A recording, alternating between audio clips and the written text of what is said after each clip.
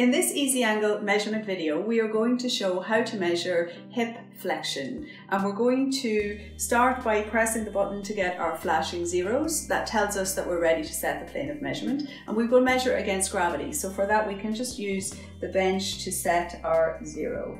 And then we're going to take the patient's leg and bring the hip into maximum flexion. And from there, we just take the device, we align it with the femur and we press the button and we get our measurement. And this is demonstrated on the poster if you look here in the bottom left hand side.